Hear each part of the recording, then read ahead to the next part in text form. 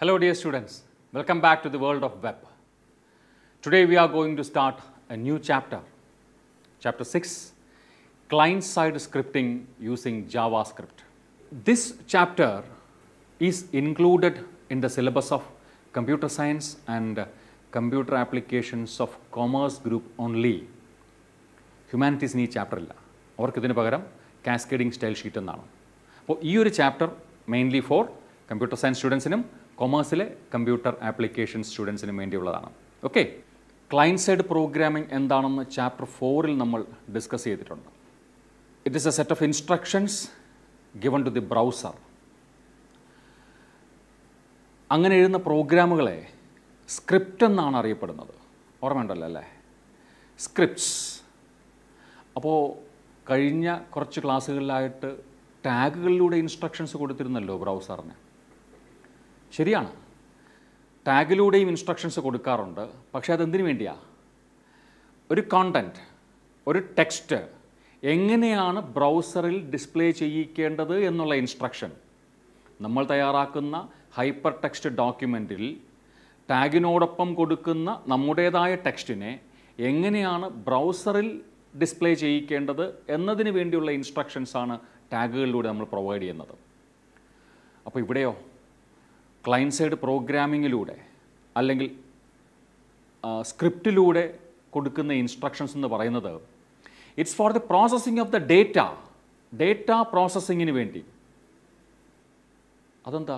നേരത്തെ കൊടുത്ത ഇൻസ്ട്രക്ഷൻസും ഇപ്പോൾ നടക്കുന്ന ഡേറ്റ പ്രോസസ്സിങ്ങും തമ്മിലുള്ള വ്യത്യാസം. ഡേറ്റ പ്രോസസ്സിംഗ് നമുക്ക് പരിചയമുണ്ട്. സി പ്ലസ് പ്ലസ് പ്രോഗ്രാമിങ്ങിലൂടെയും പൈത്തൺ പ്രോഗ്രാമിങ്ങിലൂടെയും നമ്മൾ ചെയ്തത് ഡേറ്റ പ്രോസസ്സിംഗ് ആയിരുന്നു. കമ്പ്യൂട്ടറിന് നമ്മൾ ചില ഡേറ്റ കൊടുക്കുന്നു. ആ ഡേറ്റയിൽ വൈവിധ്യങ്ങളായ കുറേ ഓപ്പറേഷൻസ്. ആ പ്രോസസ്സിംഗ് എന്നുള്ളതൊരു ബ്രോഡ് ടെർമിനോളജി ആണല്ലോ. അതിലൂടെ കുറേയേറെ ഓപ്പറേഷൻസ് ആണ് നമ്മൾ നൽകുന്നത്. എന്തൊക്കെയാകാം? Calculations comparisons decision makings data movement data storage അങ്ങനെ നിരവധിയായ ഓപ്പറേഷൻസ് നൽകുന്നതിന് വേണ്ടിയാണ് സി പ്ലസ് പ്ലസ് പൈത്തൺ പോലെയുള്ള ലാംഗ്വേജുകൾ ഉപയോഗിച്ചതെങ്കിൽ ഇതേപോലുള്ള ഓപ്പറേഷൻസ് ബ്രൗസറിനെ കൊണ്ട് ചെയ്യിക്കാൻ നമുക്കൊരു ലാംഗ്വേജ് ഉണ്ട്. ജാവാസ്ക്രിപ്റ്റ് ഓഫ് കോഴ്സ് ഒന്നിലധികം ലാംഗ്വേജസ് ഉണ്ട്. നമ്മൾ ഉപയോഗിക്കാൻ പോകുന്നത് ജാവാസ്ക്രിപ്റ്റ് ആണ്.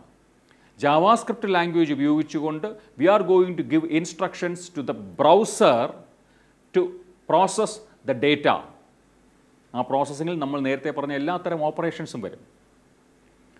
കമ്പ്യൂട്ടറിനാണ് എ എൽ യു ഒക്കെ ഉള്ളത് അല്ലേ? അതിലാണ് ഞാൻ ഈ പറഞ്ഞ ഓപ്പറേഷൻസ് എല്ലാം നടക്കുന്നത്.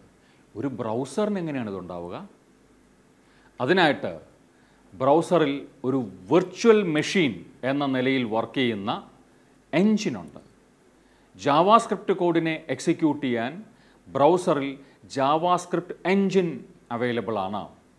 അത് എനേബിൾ ചെയ്തിരുന്നാൽ ബ്രൗസറിന്റെ സെറ്റിങ്സിലൂടെ ജാവാസ്ക്രിപ്റ്റ് എൻജിൻ എനേബിൾ ചെയ്തിരുന്നാൽ ജാവാസ്ക്രിപ്റ്റിലൂടെ നമ്മൾ കൊടുക്കുന്ന ഇൻസ്ട്രക്ഷൻസ് അല്ലെങ്കിൽ script will be executed by the browser the JavaScript engine within the browser അതായിരിക്കും ശരി.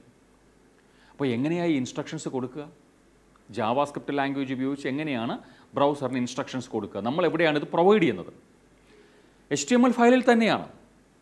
എച്ച് ടി എം എൽ ഫയലിൽ സാധാരണ എന്താ? കുറേ ടാഗുകളും ആ ടാഗുകൾക്കുള്ളിൽ അല്ലെങ്കിൽ ആ ടാഗുകളോടൊപ്പം നമ്മൾ നൽകുന്ന കുറേ ടെക്സ്റ്റും അപ്പോൾ ജാവാസ്ക്രിപ്റ്റ് കോഡ് എഴുതാനായിട്ട് we have a tag script എന്നൊരു tag H T M L provide ചെയ്യുന്നുണ്ട്.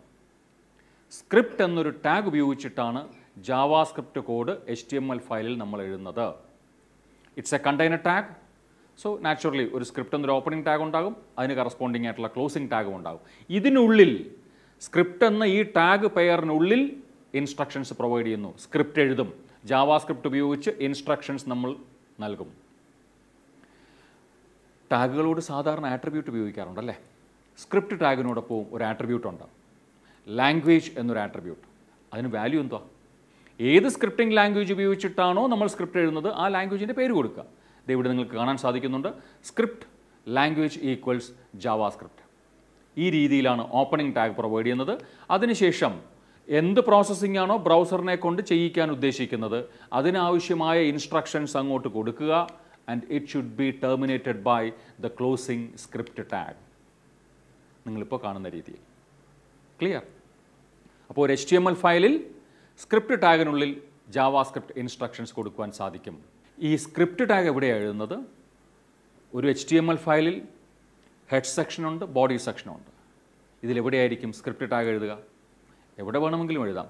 അതിന് ഓരോന്നിനും അതിന്റേതായ വ്യത്യാസമുണ്ട്. എനിവേ തൽക്കാലം നമ്മൾ തുടങ്ങുന്നത് ബോഡി സെക്ഷനിലാണ് ആ സ്ക്രിപ്റ്റിനെ ഉൾക്കൊള്ളിക്കാൻ പോകുന്നത്. ബിക്കോസ് നമ്മുടെ ബ്രൗസറിലെ കോണ്ടന്റ് ഏരിയയിൽ വരേണ്ടതെല്ലാം ബോഡി സെക്ഷനകത്താണല്ലോ നമ്മൾ പ്രൊവൈഡ് ചെയ്യുന്നത്.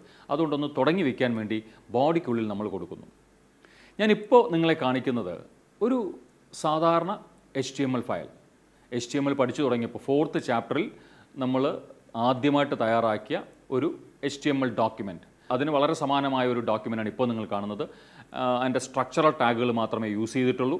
ഒപ്പം ബോഡി സെക്ഷനകത്ത് ഒരു ടെക്സ്റ്റ് വെൽക്കം ടു ജാവാസ്ക്രിപ്റ്റ് എന്ന് പറയുന്ന ഒരു ടെക്സ്റ്റ് മാത്രം. ഇത് ബ്രൗസറിൽ കാണുമ്പോൾ എങ്ങനെ ഇരിക്കും നിങ്ങൾക്കറിയാം. എങ്കിലും ദേ നിങ്ങൾക്ക് വേണ്ടി ഞാൻ ഒരിക്കൽ കൂടി കാണിക്കുന്നു. കണ്ടില്ലേ? ആ ബ്രൗസർ വിൻഡോയുടെ കോണ്ടന്റ് ഏരിയയിൽ വെൽക്കം ടു ജാവാസ്ക്രിപ്റ്റ് എന്ന ടെക്സ്റ്റ് ഡിസ്പ്ലേഡ് ആയിരിക്കുന്നു. Without any kind of formatting യാതൊരുവിധ ഫോർമാറ്റിങ്ങിനും ആവശ്യമുള്ള ടാഗുകൾ യൂസ് ചെയ്തിട്ടില്ല. അതുകൊണ്ട് തന്നെ പ്ലെയിൻ ടെക്സ്റ്റ് ആയിട്ട് അത് കാണുന്നു. So it's a web page using H T M L code കണ്ടല്ലോ? ഇതേ രീതിയിൽ ബ്രൗസറിൽ ഒരു ടെക്സ്റ്റ് ഡിസ്പ്ലേഡ് ആകാൻ ജാവാ സ്ക്രിപ്റ്റ് ഉപയോഗിച്ച് എങ്ങനെ ഇൻസ്ട്രക്ഷൻ കൊടുക്കാം എന്നാണ് അടുത്ത് കാണാൻ പോകുന്നത്. അതാ നോക്കിയോളൂ. വീണ്ടും ഒരു എച്ച് ടി എം എൽ ഫയലാണ് നിങ്ങളിപ്പോൾ കാണുന്നത്. അവിടെ ബോഡി സെക്ഷനിൽ കാണുന്നില്ലേ? ഞാൻ മാർക്ക് ചെയ്ത് കാണിക്കുന്നു. സ്ക്രിപ്റ്റ് ടാഗ് യൂസ് ചെയ്തിരിക്കുന്നു. നേരത്തെ നമ്മൾ അതിന്റെ സിൻടാക്സിൽ കണ്ടതുപോലെ സ്ക്രിപ്റ്റ് ലാംഗ്വേജ് ഈക്വൽസ് ജാവാസ്ക്രിപ്റ്റ് ആ സ്ക്രിപ്റ്റ് പെയറിനുള്ളിൽ ഒരേ ഒരു ലൈനാണ് ശ്രദ്ധിച്ചോളൂ. Document dot write welcome to JavaScript welcome to JavaScript എന്ന ടെക്സ്റ്റ് അവിടെ കാണുന്നുണ്ട്. അഡീഷണൽ ആയിട്ട് കണ്ടത് ഡോക്യുമെന്റ് ഡോട്ട് റൈറ്റ് ആ റൈറ്റ് എന്ന വാക്കിനൊപ്പം ഒരു പെയർ ഓഫ് പാരന്തിസിസ് കാണുന്നുണ്ട്. പാരന്തസിസിനുള്ളിലാണ് വെൽക്കം ടു ജാവാ സ്ക്രിപ്റ്റ് എന്ന ടെക്സ്റ്റ് ഉപയോഗിച്ചിരിക്കുന്നത്. This is an instruction given to the JavaScript engine within the browser നമ്മൾ എന്താ പറഞ്ഞിരിക്കുന്നത്? എഞ്ചിനോട് നിങ്ങൾ റൈറ്റ് ചെയ്യണം. എന്ന് വെച്ചാൽ ഡിസ്പ്ലേ ചെയ്യണം. എവിടെ? എവിടെ എന്നുള്ളതിനെയാണ് ആ ഡോക്യുമെന്റ് എന്ന വാക്കിലൂടെ നമ്മൾ സൂചിപ്പിക്കുന്നത്. ഇവിടെ ഡോക്യുമെന്റ് എന്ന് സൂചിപ്പിക്കുന്നത് ഈ എച്ച് ടി എം എൽ ഫയലിനെ ഓപ്പൺ ചെയ്യുന്ന ബ്രൗസർ വിൻഡോയുടെ കോണ്ടന്റ് ഏരിയ എന്ന് വെച്ചാൽ വെബ് പേജിൽ ഇപ്പോൾ ഏത് വെബ് പേജാണോ നിങ്ങൾ ഓപ്പൺ ചെയ്ത് വെച്ചിരിക്കുന്നത് ആ വെബ് പേജിൽ ഡിസ്പ്ലേ ചെയ്യണം. വെൽക്കം ടു ജാവാസ്ക്രിപ്റ്റ് എന്ന് റൈറ്റ് ചെയ്യണം. That is a instruction given to the JavaScript engine നോക്കാം ഇതിന്റെ ഔട്ട്പുട്ട് കണ്ടില്ല? ഒരു വ്യത്യാസവുമില്ല. നേരത്തെ H T M L file എങ്ങനെയാണോ ബ്രൗസറിൽ ഓപ്പൺഡ് ആയത് അപ്പോൾ നമ്മൾ എന്താണോ കണ്ടത് അത് തന്നെയാണ് ഇപ്പോഴും കാണുന്നത് ബ്രൗസർ വിൻഡോയിൽ it's a web page using JavaScript അപ്പോൾ രണ്ട് രീതിയിൽ ഒരു പേജ് പ്രൊവൈഡ് ചെയ്യുകയാണ് നമ്മൾ. എങ്ങനെ? H T M L file പക്ക എച്ച് ടി എം എൽ ഡോക്യുമെന്റായിട്ട് ഒരു ഫയൽ ക്രിയേറ്റ് ചെയ്തു. ഈ മെസ്സേജ് ഡിസ്പ്ലേ ചെയ്യാൻ വേണ്ടി. വീണ്ടും മറ്റൊരു എച്ച് ടി എം എൽ ഫയലിൽ ജാവാസ്ക്രിപ്റ്റ് ഇൻസ്ട്രക്ഷൻ ഉപയോഗിച്ചുകൊണ്ട് ജാവാസ്ക്രിപ്റ്റ് ലാംഗ്വേജിലെ റൈറ്റ് എന്ന ഫങ്ഷൻ റൈറ്റ് എന്ന മെത്തേഡ് അങ്ങനെയൊക്കെയാണ് പറയുന്നത്. നമ്മൾ ഒരു പ്രോഗ്രാമിംഗ് ലാംഗ്വേജിൽ സി പ്ലസ് പ്ലസും പൈത്തനും ഒക്കെ പഠിച്ചവർക്ക് ഓർമ്മ ഓർമ്മയുണ്ടാവും. ഒരു വേർഡിനോടൊപ്പം പാരന്റിസ് വരികയും അതിനുള്ളിൽ ആർഗ്യുമെന്റ്സ് എന്ന നിലയിൽ എന്തെങ്കിലുമൊക്കെ പ്രൊവൈഡ് ചെയ്യാറുണ്ടല്ലോ. അപ്പോൾ അത്തരം വാക്കുകൾ സൂചിപ്പിക്കുന്നത് ഫങ്ഷൻസിനെയാണെന്നൊക്കെ നമ്മൾ പറഞ്ഞിട്ടുണ്ട്. അതൊന്നുകൂടി ഓർത്തുകൊള്ളുക. സോ അതിന് പറയുന്ന മറ്റൊരു വാക്ക് ഫംഗ്ഷന് പറയുന്ന മറ്റൊരു വാക്കാണ് method so here write is a method or a function it is used with the document അതായത് വെബ് പേജിനോടൊപ്പം അത് യൂസ് ചെയ്യുന്നു. കാരണം വെബ് പേജിൽ റൈറ്റ് ചെയ്യാനുള്ള ഇൻസ്ട്രക്ഷനാണ് കൊടുക്കുന്നത്. ക്ലിയർ ഞാൻ ആ രണ്ട് ഫയലുകളെയും കാണിക്കുകയാണ്. സെയിം വെബ് പേജ് രണ്ട് രീതിയിൽ ക്രിയേറ്റ് ചെയ്തിരിക്കുന്നു. ഒന്ന് ഒരു പക്ക എച്ച് ടി എം എൽ ഫയലായിട്ട് രണ്ടാമത്തത് ജാവാസ്ക്രിപ്റ്റിലെ ഇൻസ്ട്രക്ഷൻ യൂസ് ചെയ്തുകൊണ്ട്. ഇവിടെ ഈ ഫയലിൽ നിങ്ങൾക്ക് കാണാൻ സാധിക്കുന്നത് ഒരു എച്ച് ടി എം എൽ ഫയലിന്റെ ബോഡി സെക്ഷനാണ്. അവിടെ എച്ച് വൺ എന്ന ടാഗ് ഉപയോഗിച്ചിരിക്കുന്നു. എച്ച് വൺ ടാഗിനുള്ളിലാണ് സ്ക്രിപ്റ്റ് ടാഗ് ഉപയോഗിച്ചുകൊണ്ട് നേരത്തെ മെസ്സേജ് കൊടുത്തത്. പക്ഷേ ആ ടെക്സ്റ്റ് മാത്രം ഞാൻ മാറ്റി. This is in H one tag. അതായത് സ്ക്രിപ്റ്റിലെ ഇൻസ്ട്രക്ഷൻ കൊടുത്തിരിക്കുന്നത് എച്ച് വൺ ടാഗിനുള്ളിലാണ് സാധാരണ നമുക്കറിയാം എച്ച് വൺ ടാഗിനുള്ളിൽ ഒരു ടെക്സ്റ്റ് കൊടുത്തു കഴിഞ്ഞാൽ that text will be displayed in എന്താ പറയുക കുറച്ചുകൂടി വലിയ സൈസായിട്ട് ഒരു ഹെഡിങ് ആയിട്ട് ഡിസ്പ്ലേ ചെയ്യും. അപ്പോൾ നോർമലി അതിന്റെ സൈസ് വല്ലാതെ വലുതാവുന്നുണ്ട്. ബോൾഡിലൊക്കെയാണ് നമ്മൾ കണ്ടത്. പരിചയമുണ്ട്. പക്ഷേ ഇവിടെ എച്ച് വൺ ടാഗിനകത്ത് സ്ക്രിപ്റ്റ് ഉപയോഗിച്ചിട്ടാണ് ആ ഇൻസ്ട്രക്ഷൻ കൊടുത്തിരിക്കുന്നത്. ജാവാ സ്ക്രിപ്റ്റിലെ ഒരു ഇൻസ്ട്രക്ഷനായിട്ടാണ് കൊടുത്തിരിക്കുന്നത്. തൊട്ട് താഴെ വീണ്ടും സ്ക്രിപ്റ്റ് ടാഗ് ഉപയോഗിച്ചിരിക്കുന്നു. അതിനെ ഒരിടത്ത് ഉപയോഗിച്ചാൽ പോരെ? പോരാ. എച്ച് വൺ ടാഗിനുള്ളിൽ ആ സ്ക്രിപ്റ്റിന്റെ ഓപ്പണിംഗ് ടാഗും ക്ലോസിംഗ് ടാഗും അവസാനിച്ചു കഴിഞ്ഞു. ടാഗുകൾ തമ്മിൽ ഓവർലാപ്പ് ചെയ്ത് എഴുതാറില്ലല്ലോ. ഒരു ടാഗിനുള്ളിൽ മറ്റൊരു ടാഗ് ഉപയോഗിച്ച് കഴിഞ്ഞാൽ ഇന്നർ ടാഗിന്റെ ക്ലോസിങ്ങിന് ശേഷമേ ഔട്ടർ ടാഗിന്റെ ക്ലോസിംഗ് വരാൻ പാടുള്ളൂ. ഇവിടെ എച്ച് വൺ ടാഗിനുള്ളിൽ സ്ക്രിപ്റ്റ് ഓപ്പൺ ചെയ്തു. അപ്പോൾ എച്ച് വണ്ണിന്റെ ക്ലോസിങ്ങിന് മുമ്പ് സ്ക്രിപ്റ്റിന്റെ ക്ലോസിംഗ് വരണം. അപ്പോൾ സ്ക്രിപ്റ്റ് ടാഗിന്റെ ഇഫക്റ്റ് തീർന്നു കഴിഞ്ഞു. എച്ച് വണ്ണിന് ശേഷം വീണ്ടും ഒരു ജാവാസ്ക്രിപ്റ്റ് ഇൻസ്ട്രക്ഷൻ കൊടുക്കണമെങ്കിൽ നിർബന്ധമായിട്ടും വീണ്ടും സ്ക്രിപ്റ്റ് ടാഗ് ഉപയോഗിക്കണം. അതുകൊണ്ടാണ് രണ്ടാമതും സ്ക്രിപ്റ്റ് ടാഗ് ഉപയോഗിച്ചിരിക്കുന്നു. പക്ഷേ ഇവിടെ റൈറ്റ് ഫംഗ്ഷന്റെ ഉള്ളിൽ ശ്രദ്ധിച്ചേ. റൈറ്റ് ഫംഗ്ഷന്റെ ആർഗ്യുമെന്റായിട്ട് കൊടുത്തിരിക്കുന്നത് this is in H one head എന്ന് മാത്രമല്ല ആ ഹെഡ് ടാഗ് പോലും ടെക്സ്റ്റിന്റെ ഭാഗമായിട്ട് കൊടുത്തിരിക്കുന്നു. ചുരുക്കി പറഞ്ഞാൽ ഒരു സാധാരണ H T M L document ആയിരുന്നുവെങ്കിൽ H one ടാഗിനുള്ളിൽ this is in H one head എന്ന് പറയുന്ന അത്രയും പോർഷനെ റൈറ്റ് ഫംഗ്ഷന്റെ ആർഗ്യുമെന്റായിട്ട് സെറ്റ് ചെയ്തിരിക്കുന്നു.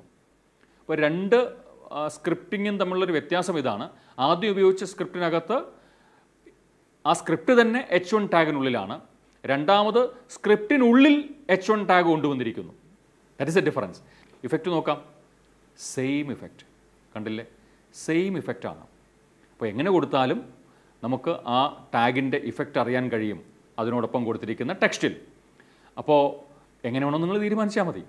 സ്ക്രിപ്റ്റ് എഴുതി തുടങ്ങിയാൽ ആ സ്ക്രിപ്റ്റിനോടൊപ്പം ടാഗുകൾ ഉപയോഗിക്കേണ്ടി വരുമ്പോൾ അതിനെ റൈറ്റ് ഫംഗ്ഷന്റെ ആർഗ്യുമെന്റായിട്ട് കൊടുത്താൽ മതിയാകും. That is a conclusion okay സാധാരണഗതിയിൽ ഒരു H T M L file ബ്രൗസറിന് കിട്ടിക്കഴിഞ്ഞാൽ അയാൾ അതിനകത്തുള്ള ടാഗുകൾ ഇന്റർപ്രറ്റ് ചെയ്ത് അതിനനുസരിച്ചിട്ട് അതിനോടൊപ്പം കൊടുത്തിട്ടുള്ള ടെക്സ്റ്റിനെ ഫോമാറ്റ് ചെയ്യുകയോ എന്താണോ ആ ടാഗ് കൊണ്ട് ഉദ്ദേശിക്കുന്നത് ആ പണിയൊക്കെ ചെയ്ത് ആ ഒരു ബിഹേവിയർ കൊടുത്ത് ടെക്സ്റ്റിനെ നമ്മുടെ മുന്നിൽ അവതരിപ്പിക്കും.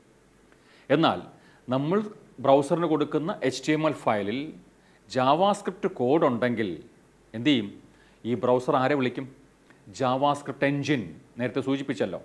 ഈ സ്ക്രിപ്റ്റിനെ പ്രോസസ്സ് ചെയ്യാനായിട്ട് ഒരു വെർച്വൽ മെഷീൻ എന്ന നിലയിൽ ജാവാസ്ക്രിപ്റ്റ് എഞ്ചിൻ ഉണ്ടാകും അപ്പോൾ ബ്രൗസർ നേരെ ജാവാസ്ക്രിപ്റ്റ് എഞ്ചിനെ ആക്ടിവേറ്റ് ചെയ്യിക്കുന്നു. അയാൾ ഈ ഇൻസ്ട്രക്ഷൻസ് ഇന്റർപ്രറ്റ് ചെയ്യുന്നു. അതിന്റെ അടിസ്ഥാനത്തിൽ ബ്രൗസറിലേക്ക് ആ മെസ്സേജ് കൈമാറുന്നു. ജാവാസ്ക്രിപ്റ്റ് എഞ്ചിൻ പറയുന്നതനുസരിച്ചിട്ട് ബ്രൗസർ പിന്നീട് ബിഹേവ് ചെയ്യുന്നു. അതാണ് സംഭവിക്കുക. അപ്പോൾ ജാവാസ്ക്രിപ്റ്റ് കോഡ് ഇല്ലാത്ത എച്ച് ടി എം എൽ ഫയലാണ് ബ്രൗസറിന് കിട്ടുന്നതെങ്കിൽ കുറേ കൂടി ഫാസ്റ്റായിട്ട് അതിന്റെ റിസൾട്ട് കിട്ടും അല്ലേ? ജാവാസ്ക്രിപ്റ്റ് വന്നു കഴിഞ്ഞാൽ ആ പോർഷനെ എൻജിനിലേക്ക് കൈമാറി എൻജിൻ അതിനെ പ്രോസസ്സ് ചെയ്ത് ആ പണി കൂടി എക്സ്ട്രാ വരുന്നുണ്ട്. സോ നാച്ചുറലി എന്താ സംഭവിക്കുക?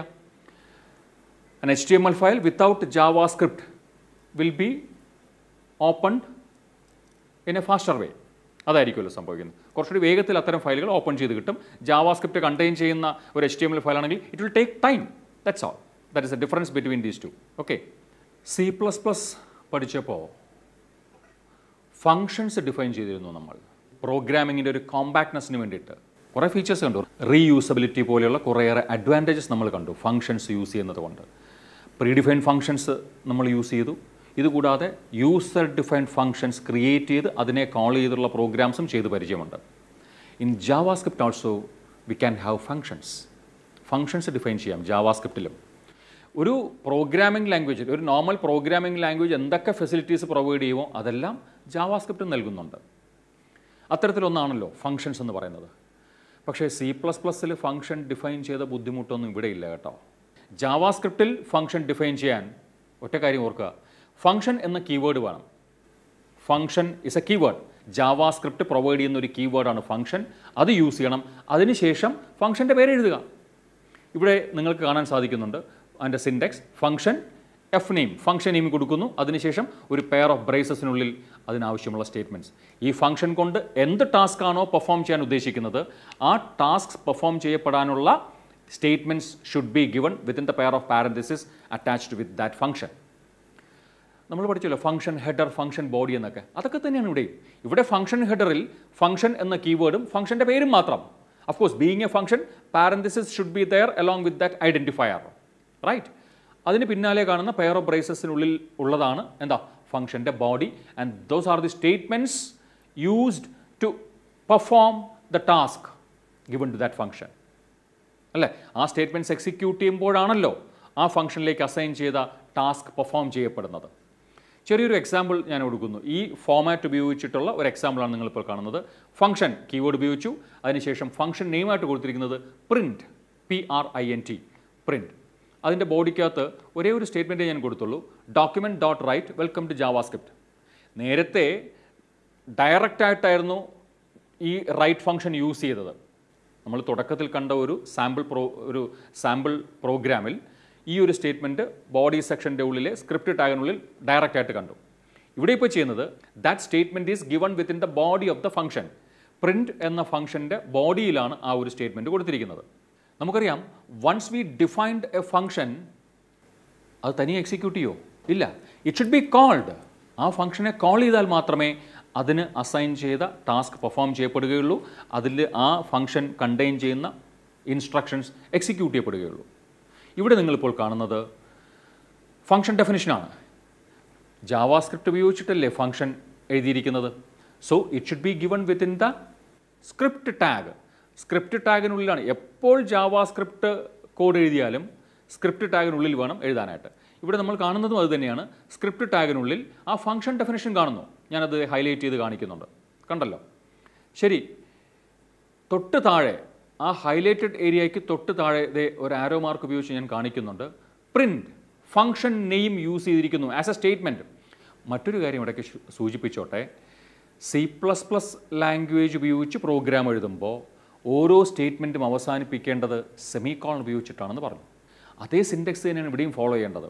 ഇത് മാത്രമല്ല കേട്ടോ സി പ്ലസ് പ്ലസ് ലാംഗ്വേജിൽ നമ്മൾ പഠിച്ച ഓൾമോസ്റ്റ് എല്ലാ കോൺസെപ്റ്റ്സും അതേ സിന്റെക്സോടുകൂടി തന്നെയാണ് ഇവിടെയും യൂസ് ചെയ്യുന്നത്. അതുകൊണ്ടാണ് ഞാൻ അന്ന് സൂചിപ്പിച്ചത് സി പ്ലസ് പ്ലസ് ലാംഗ്വേജിന്റെ ആ സെക്ഷൻ അവസാനിപ്പിച്ചപ്പോൾ തന്നെ ഞാൻ പറഞ്ഞിരുന്നു ഇതെല്ലാം ഇവിടെ കൊണ്ട് അവസാനിപ്പിക്കാനുള്ളതല്ല തുടർന്നുള്ള ചാപ്റ്റേഴ്സിലും ഇതെല്ലാം വേണ്ടി വരുമെന്നുള്ളത്. ഇതേ നമ്മൾ എടുക്കാൻ പോവാണ് വീണ്ടും. അപ്പോൾ ഇതുവരെ സി പ്ലസ് പ്ലസ് ലാംഗ്വേജുമായി പഠിച്ച കാര്യങ്ങൾ മറന്നു പോയിട്ടുണ്ടെങ്കിൽ എല്ലാം ഒന്ന് ബ്രഷപ്പ് ചെയ്ത് വെച്ചോളണം. അതെല്ലാം നമ്മൾ ഇനി യൂസ് ചെയ്യാൻ പോവാണ്. ഓക്കെ ശരി നമുക്ക് നോക്കാം.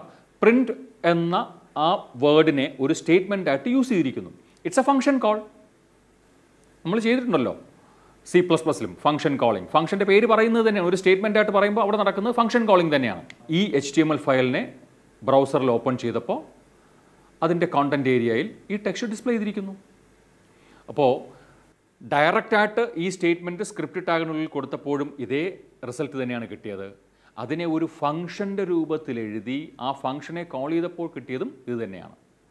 കണ്ടല്ലോ? ഇവിടെ ഫംഗ്ഷൻ ഡെഫിനിഷനും ഫംഗ്ഷൻ കോളിങ്ങും എവിടെയാണ് കൊടുത്തിരിക്കുന്നത്? എച്ച് ടി എം എൽ ഫയലിന്റെ ബോഡി സെക്ഷനിൽ കാണുന്നുണ്ടല്ലോ? എച്ച് ടി എം എൽ ഫയലിന്റെ ബോഡി സെക്ഷനിലാണ് ഫംഗ്ഷൻ ഡിഫൈൻ ചെയ്തിരിക്കുന്നതും ഫംഗ്ഷനെ കോൾ ചെയ്തിരിക്കുന്നതും. മറ്റൊരു രീതി നമുക്ക് നോക്കാം. ഇപ്പോൾ നിങ്ങൾ കാണുന്നത് സെയിം കോഡ് തന്നെയാണ് but with a slight difference എന്തുവാ? എച്ച് ടി എം എൽ ഫയലിന്റെ ഹെഡ് സെക്ഷനുള്ളിൽ ആ ടൈറ്റിൽ ടാഗിന്റെ തൊട്ട് പിന്നാലെ സ്ക്രിപ്റ്റ് ടാഗ് യൂസ് ചെയ്തിരിക്കുന്നു. അതിനുള്ളിൽ തന്നെ ഫംഗ്ഷൻ ഡെഫിനിഷനും കാണാം ഫംഗ്ഷൻ കോളിങ്ങും കാണാം. ബോഡിയിൽ ഒന്നും ഉപയോഗിച്ചിട്ടില്ല. ഈ ഫയലിനെ ബ്രൗസറിൽ ഓപ്പൺ ചെയ്താൽ എങ്ങനെ ഇരിക്കും നോക്കാം. പ്രത്യേകം ശ്രദ്ധിക്കേണ്ട കാര്യം ഇതാണ്. കണ്ടില്ലേ? ഫംഗ്ഷൻ കോളും ആ ഹെഡ് സെക്ഷനിൽ തന്നെ ബോഡിക്കകത്തൊന്നുമില്ല കേട്ടോ. But the output is the same കണ്ടില്ലേ? സാധാരണഗതിയിൽ ബോഡിയിൽ ഒന്നും കൊടുത്തില്ലെങ്കിൽ ബ്രൗസറിന്റെ കോണ്ടന്റ് ഏരിയയിൽ എന്തെങ്കിലും കാണാൻ കഴിയുമോ? സാധാരണഗതിയിലില്ല അല്ലേ?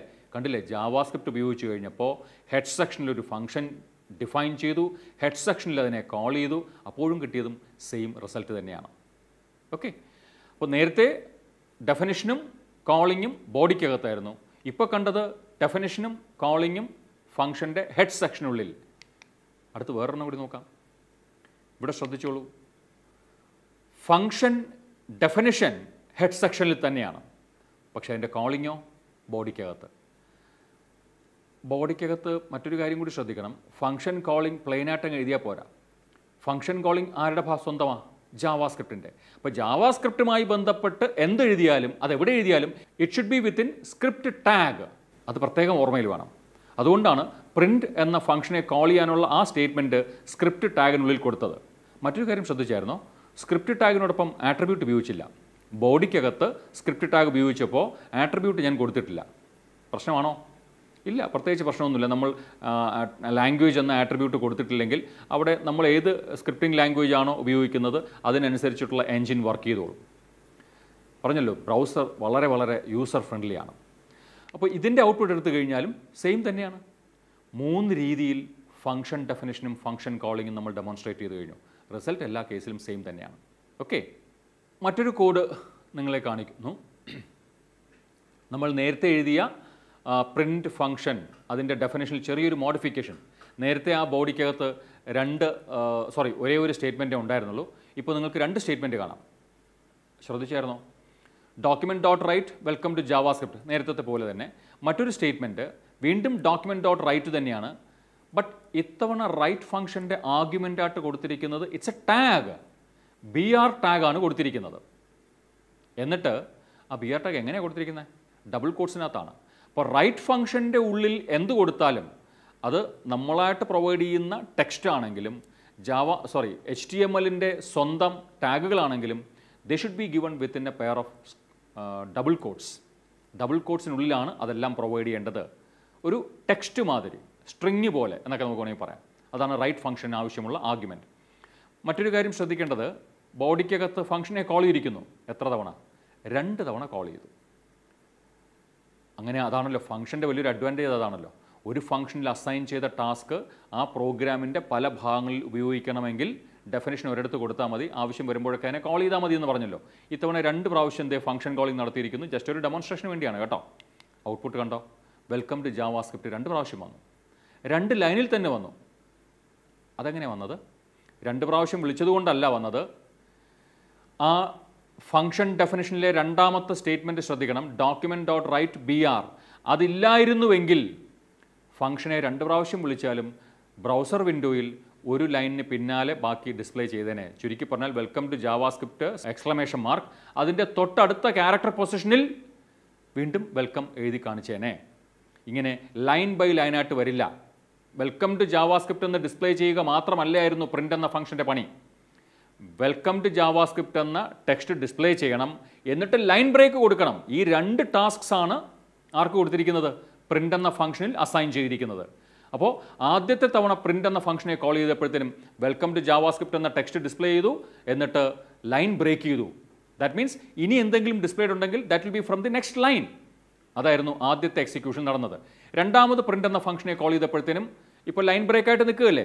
എവിടെയാണോ ലൈൻ ബ്രേക്ക് ആയിട്ട് നിൽക്കുന്നത് അവിടെ തൊട്ട് എഴുതി കാണിച്ചു വെൽക്കം ടു ജാവാ സ്ക്രിപ്റ്റ് എന്ന് മാത്രമല്ല വീണ്ടും ലൈൻ ബ്രേക്ക് നടത്തിയിട്ടുണ്ട്. ആ ലൈൻ ബ്രേക്കിന്റെ എഫക്റ്റ് നമുക്ക് കാണാൻ കഴിയാത്ത എന്താ തൊട്ട് പിന്നാലെ ഒരു ടെക്സ്റ്റ് വന്നെങ്കിൽ മാത്രമേ അത് കാണാൻ സാധിക്കത്തുള്ളൂ. സോ ക്ലിയർ ഒരു ഫംഗ്ഷൻ ഡിഫൈൻ ചെയ്തതിന് ശേഷം അതിനെ ബോഡിക്കകത്ത് എവിടെ വേണമെങ്കിലും എത്ര തവണ വേണമെങ്കിലും കോൾ ചെയ്യാൻ സാധിക്കും. Just like C plus plus functions or Python functions C plus plus പ്രോഗ്രാമിങ്ങിലും Python language പ്രോഗ്രാമിങ്ങിലും നമ്മൾ കണ്ടത് ഡേറ്റ പ്രോസസ്സിംഗ് ആയിരുന്നു. പല തരത്തിലുള്ള ഡേറ്റയെ പ്രോസസ്സ് ചെയ്യാനുള്ള ഇൻസ്ട്രക്ഷൻസ് അവിടെ കൊടുക്കുമായിരുന്നു. അതുകൊണ്ട് തന്നെ അത്തരം ഡേറ്റയെ ഐഡന്റിഫൈ ചെയ്യാനുള്ള മെക്കാനിസം ഉണ്ടായിരുന്നു. ഡേറ്റ ടൈപ്സ് എന്നറിയപ്പെടുന്നു. സി പ്ലസ് പ്ലസ് പ്രത്യേകിച്ചും ഡേറ്റ ടൈപ്സുകൾ എക്സ്ക്ലൂസീവായിട്ട് ചില കീവേഡ്സിലൂടെ പ്രൊവൈഡ് ചെയ്തു. അത് ഉപയോഗപ്പെടുത്തിക്കൊണ്ട് വേരിയബിൾസ് ഡിക്ലെയർ ചെയ്തു. ഓർമ്മയുണ്ടല്ലോ അല്ലേ അതെല്ലാം? JavaScript also provides you data types because data processing ആണല്ലോ അൾട്ടിമേറ്റ്ലി ജാവാസ്ക്രിപ്റ്റിന്റെയും പണി. അതുകൊണ്ട് തന്നെ ഈ ഡേറ്റയെ ഐഡന്റിഫൈ ചെയ്യാനായിട്ട് ഇറ്റ് ഹാസ് സം മെക്കാനിസംസ് അതിന് ഡേറ്റ ടൈപ്പ് എന്ന് തന്നെയാണ് പറയുന്നത്. ജാവാസ്ക്രിപ്റ്റിന് ഡേറ്റ ടൈപ്സ് മൂന്ന് തരത്തിലാണുള്ളത്. One is number second one is string and third one is Boolean C plus പ്ലസിൽ int char float double void എന്നൊക്കെയാണ് പഠിച്ചത്. ഇവിടെ അങ്ങനെയല്ല. നമ്പർ സ്ട്രിങ് ബൂളിയൻ മൂന്നെണ്ണമേ ഉള്ളൂ. നമ്പർ എന്ന ഡേറ്റ ടൈപ്പിൽ വരുന്ന ഡേറ്റ ആ ഡേറ്റ ടൈപ്പ് കൊണ്ട് ഉദ്ദേശിക്കുന്നത് എല്ലാത്തരം നമ്പേഴ്സും അതായത് ഇൻഡിജേഴ്സ് ആണെങ്കിലും ഫ്ലോട്ടിംഗ് പോയിന്റ് നമ്പേഴ്സ് ആണെങ്കിലും അല്ലേ? ഫ്രാക്ഷണൽ നമ്പേഴ്സ് തന്നെയാണല്ലോ നമ്മൾ ഫ്ലോട്ടിംഗ് പോയിന്റ് നമ്പേഴ്സ് എന്ന് പറയുന്നത്. അത്തരം നമ്പേഴ്സ് ആണെങ്കിലും അതിൽ പോസിറ്റീവ് ആണെങ്കിലും നെഗറ്റീവ് ആണെങ്കിലും എല്ലാത്തരം നമ്പേഴ്സിനെയും കൂടി ഐഡന്റിഫൈ ചെയ്യാൻ ഒരൊറ്റ ഡേറ്റ ടൈപ്പാണ് നമ്പർ എളുപ്പമുണ്ടല്ലേ ഇനി സ്ട്രിങ് എന്നൊരു data type. C plus plus അങ്ങനെ ഒരു സംഭവം ഇല്ലായിരുന്നു. ക്യാരക്ടർ അറേ ഉപയോഗിച്ചിട്ടൊക്കെയാണ് നമ്മളത് ചെയ്തത്. ബട്ട് ജാവാസ്ക്രിപ്റ്റിന് അങ്ങനെ ഒരു ഡേറ്റ ടൈപ്പ് ഉണ്ട് സ്ട്രിങ് എന്ന പേരിലൊരു ഡേറ്റ ടൈപ്പ് ഉണ്ട്. അതുകൊണ്ട് ഉദ്ദേശിക്കുന്നത് സിംഗിൾ ക്യാരക്ടറുമാകാം മൾട്ടി ക്യാരക്ടേഴ്സും ആകാം. അപ്പോൾ എന്ത് തന്നെ ആയാലും a combination of characters a sequence of one or more characters enclosed within a pair of double quotes അതിനെയാണ് സ്ട്രിംഗ് ആയിട്ട് കാണുന്നത്. ബാക്കിയൊക്കെ സെയിം ആണ് കേട്ടോ. ഡബിൾ കോഡ്സിനുള്ളിൽ എന്തെഴുതി വെച്ചാലും ഏതുതരം ക്യാരക്ടേഴ്സിന്റെ കോമ്പിനേഷനാണോ ഡബിൾ കോഡ്സിൽ വന്നാലും കൊള്ളാം. അതിനെ സ്ട്രിംഗ് ആയിട്ടാണ് ജാവാസ്ക്രിപ്റ്റ് കാണുന്നത്. മൂന്നാമതൊരു ഡേറ്റ ടൈപ്പ്. ആ വാക്ക് പരിചയമുണ്ട് പക്ഷേ അതിനൊരു ഡേറ്റ ടൈപ്പായിട്ട് നമ്മൾ ഉപയോഗിച്ചിട്ടില്ല. ബൂളിയൻ. ഗസിയാവോ എന്താണെന്ന്? യെസ് അത് തന്നെയാണ്. ട്രൂ ഓർ ഫോൾസ് ഈ രണ്ട് വാല്യൂസിനെയുമാണ് ബൂളിയൻ ഡേറ്റ ടൈപ്പായിട്ട് ഐഡന്റിഫൈ ചെയ്യുന്നത്. അവിടെ സ്മോൾ ലെറ്റേഴ്സാണ് ഞാൻ ഉപയോഗിച്ചിരിക്കുന്നത്. ട്രൂ ഫോൾസ് വാല്യൂസ് നമുക്ക് ഓരോന്നായിട്ട് ഒന്ന് നോക്കാം. ജസ്റ്റ് ചില എക്സാമ്പിൾസ് ഒന്ന് കണ്ടുപോകാം.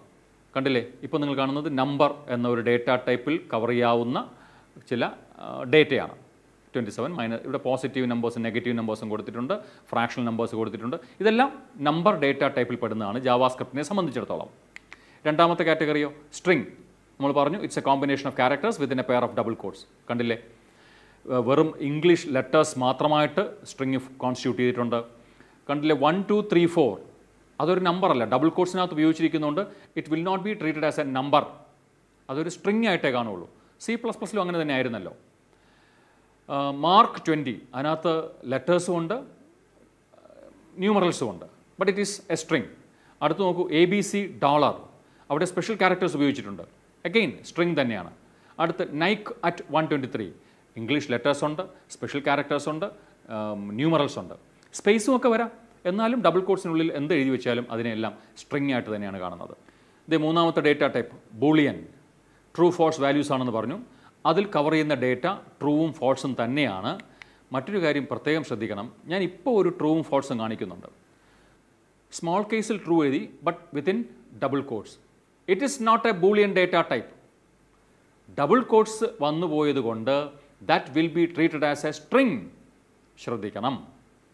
രണ്ടാമത്തെ കേസിൽ false F A L S E കറക്റ്റാണ് but given in upper case letters it's not Boolean data type അതിനെ ജാവാസ്ക്രിപ്റ്റ് ബൂളിയൻ ഡേറ്റ ടൈപ്പായിട്ട് കാണില്ല. അതുകൊണ്ട് ഇത് രണ്ടും ബൂളിയൻ ഡേറ്റ ടൈപ്പ് എന്ന് പറയരുത്. Because JavaScript is case sensitive JavaScript is case sensitive കോഡ്സിനകത്തൊന്നും വരാൻ പാടില്ല.